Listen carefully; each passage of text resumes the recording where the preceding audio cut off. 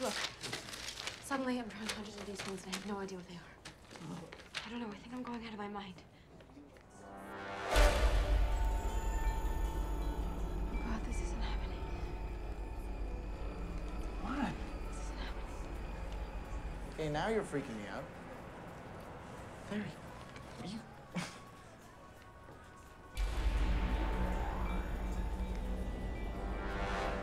what are you looking at? Wait here. Why can I see you and no one else can? I was going to ask you the same question.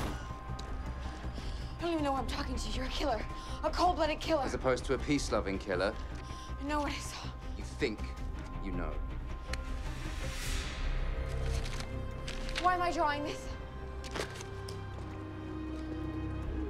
So I was right, you're not a mundane. Excuse me? What's a mundane?